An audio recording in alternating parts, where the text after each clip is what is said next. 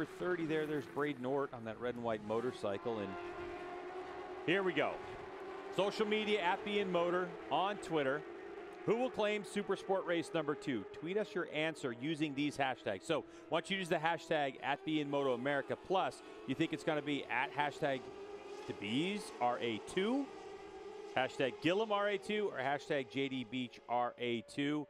We'll know what you're saying. We keep track of all this stuff, and we'll let you know what you and the accumulation of people that are tweeting out there, what they thought after the race. Now back to Braeden Ortt. So you can see Hayden, uh, Corey, and Nick are just a, just a tick off. All first five guys are in the 219s. So very, very fast pace. Faster pace than yesterday so far. So going back and forth, JD Beach, Valentin Debise. They're not dropping uh, Hayden Gillim as bad as they had yesterday during this part of the race.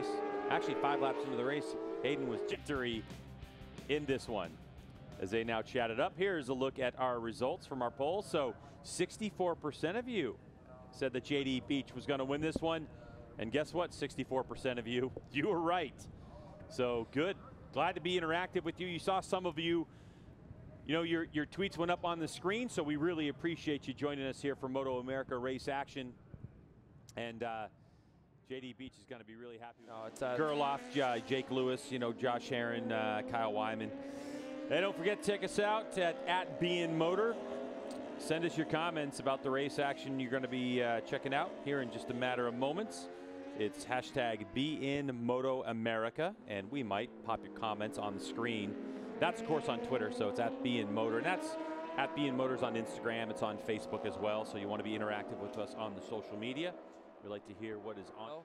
Wouldn't be surprised. Up on the television screen. Yes, with the way things are right now and the speed of his motorcycle, the drives he's able to get, is you've got to put him third or fourth. it's, it's really hard because his bike is so fast, he's so small, he can get down behind the bubble of that Yoshimura Suzuki so well that it's so easy for him to just kind of draft back up. You know, looking back here, what we're seeing, see that little gap? Garrett still hasn't been able to close that little gap that he lost to Canada Corner. That's all it takes. So then what ends up happening is you start pushing really hard. You can see again, Herrin out on the outside. You start pushing, and then you make little mistakes, and those gaps create. Loving it. no, it's. Uh,